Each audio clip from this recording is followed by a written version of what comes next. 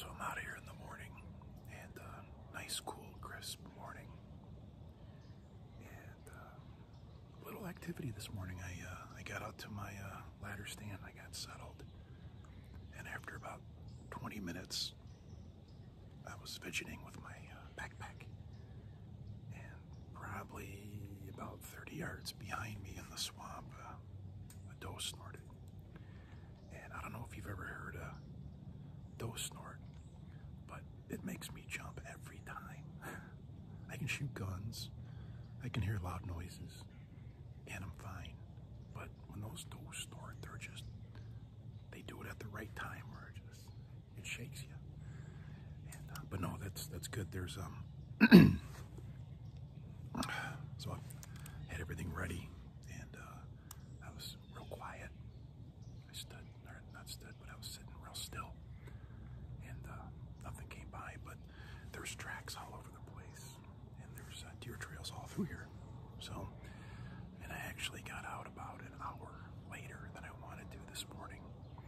Um, I was getting the kids ready for school, and I was making sure Kathy's all taken care of.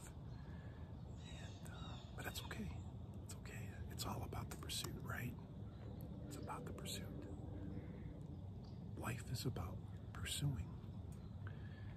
And in the pursuit, it's you have to plan and then you have to prepare and then you have to be patient in the pursuit. And that's what's so nice about hunting because we forgot what patience are and patience is, is an attribute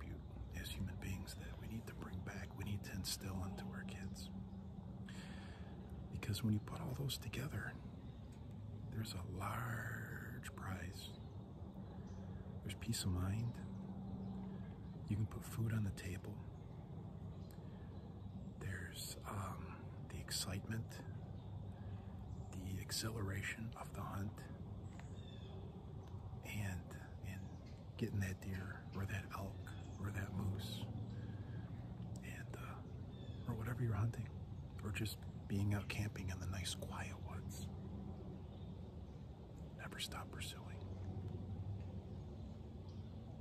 Train, pursue, live.